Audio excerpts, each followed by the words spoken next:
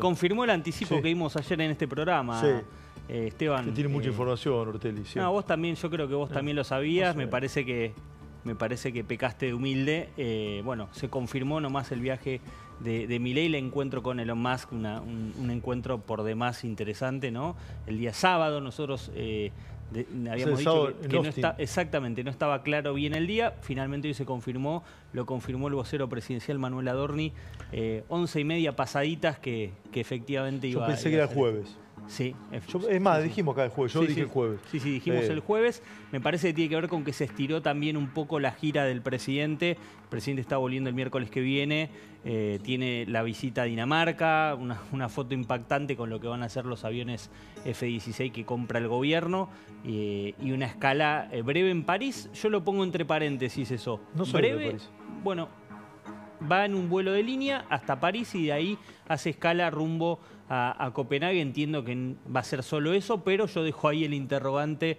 Veremos qué pasa eh, o, o- o cómo se desarrolla en, las pro- en los próximos días. Bien, ¿y, y- y qué se sabe? Porque, bueno, eh, Elon Musk tiene un montón de empresas, ¿no? Sí. Eh, ¿Acaso las dos más conocidas son Tesla? y- X. sí, bueno, X y Starlink. Starlink, Bueno, exactamente. eh, Starlink que ya está operando en. Argentina, ¿no? Está operando en la Argentina. La idea, me dicen, de la reunión no es eh, que no es búsqueda de inversiones, es decir, Milei no va con esa expectativa de que Elon Musk le confirme inversiones. Sí es un primer acercamiento, un, primer encuentro entre dos personas que se han deshecho en elogios uno hacia el otro, pero no, eh, Milei sabe que primero la prioridad es la ley base, que se establezcan nuevas pautas laborales, que se establezcan nuevas pautas impositivas y de ahí en más sí que sean los empresarios los que quieran invertir en la Argentina y no quedar como Alberto Fernández que iba casi a pasar la gorra Sí, con Alberto empresarios. Fernández manoteaba, que- manoteaba a los Sí. presidentes en los pasillos. Sí, sí. ¿Se acuerdan o no? Bueno, a Biden, ¿Eh? ¿te acordás? A Biden, ¿Te, sí. ¿Te acordás el, el encuentro con Biden que fue patético? En un pasillo. Sí,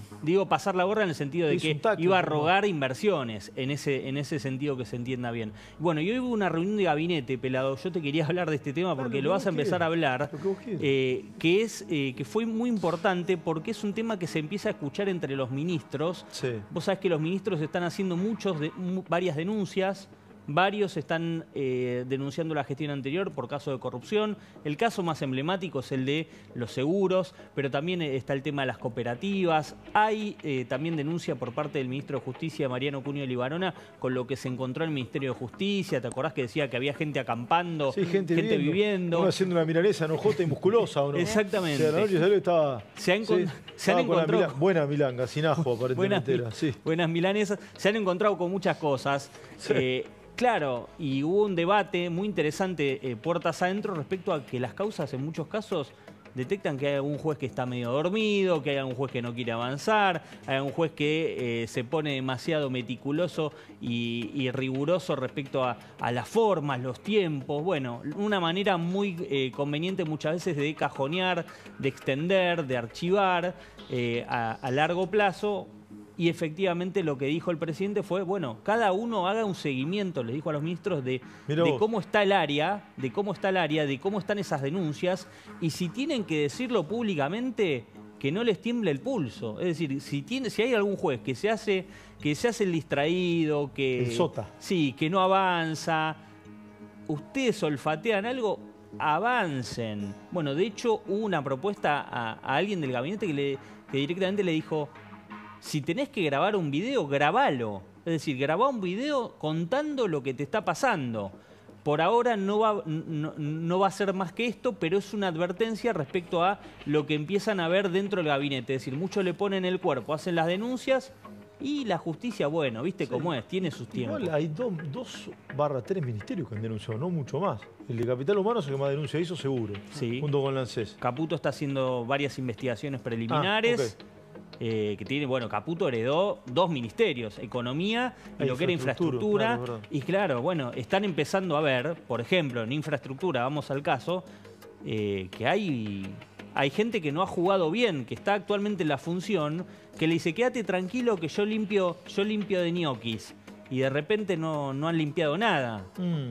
Entonces empiezan Sí. a ver esas instancias. Atentos con esto, pelado, atentos porque, bueno, también ha, ha denunciado seguridad, ha denunciado el ministro Petri, tengo entendido. Sí. Eh, hay algunos que los han hecho mediáticas las denuncias, otros que no, pero todos los... to- Sí, Bullrich hizo la sí. denuncia contra Maldonado, por ejemplo, también. Bueno, bueno esa, esa denuncia la va a seguir, yo creo. Eh, y por último, te, te cuento Sí. esto que te, te va a gustar a A vos. ver. Viste que está el problema con camioneros, con la homologación de camioneros. Sí, y de porteros también, entiendo, ¿no? Sí. Con los porteros, parece que los porteros la empezaron a ver. ¿Por? ¿Por qué? Me cuentan que han firmado un acuerdo paritario por marzo del 10% y por abril del 4%, 4% pelado por abril. En, en ningún caso se habla de una inflación por abajo de los, de los 5 puntos para abril, más allá de que la expectativa del gobierno es que siga bajando. 4 puntos No, no, se está no. yendo a la baja. No, na- nadie, 10 nadie. puntos de marzo, yo- después Carlito nos dirá, pero 10 puntos de marzo también estás un poquitito a la baja. Sí, dicen 10 y- 10 y moneditas, ¿no? Exactamente. Por lo tanto, ese acuerdo me parece que el, el gobierno se lo va a homologar también como gesto. Es decir, te alineás, te das cuenta de que no podés tensar eh, y, de, y de pedirle cualquier cosa al, al- al otro lado del mostrador, te lo aprobamos. Hacés como camioneros, te vamos a estirar todo lo que se pueda para que no se te convalide ese acuerdo. Bueno, muy bien. Ahí me contaba el veranito del dólar. Eh, eh, Carlitos, sí. Eh, Ercolini tiene casi todas las causas, ¿no? De corrupción. La Lourdes, ¿no? mayoría las tiene el juez Julián Ercolini, sí. Bien. La, que preguntabas de Maldonado la tiene actualmente el juez Daniel Rafecas porque se la te- tenía una denuncia anterior, por lo tanto todo terminado ahí y está con medidas previas. Muy bien. Me pregunté justamente hoy.